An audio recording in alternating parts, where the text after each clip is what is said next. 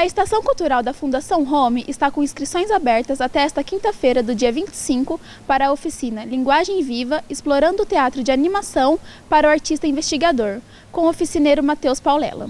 Serão no total cinco encontros e através da oficina a gente vai utilizar essa linguagem né, do teatro de animação para a gente poder investigar o ator, a atriz, o bailarino, o intérprete da cena, que nós vamos utilizar sobre o autoconhecimento para então, para a gente poder brincar com as possibilidades da gente poder se expressar, seja corporalmente ou através dos objetos, nessa prática do artista de cena. O teatro de animação é uma forma de teatro que utiliza técnicas que dão vida a marionetes, bonecos, sombras ou objetos para criar personagens e cenários. Para a oficina são disponibilizadas 20 vagas, principalmente para performers, artistas de palco, atores, atrizes, estudantes de teatro, jovens artistas, dançarinos, coreógrafos, bailarinos e entusiastas das artes. As inscrições vão até quinta-feira, aberto para todo o público a partir dos 18 anos de idade.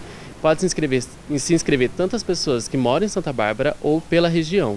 E para mais informações é só entrar em contato é, nas redes sociais, tanto Instagram, tanto Facebook, da Estação Cultural da Fundação Home.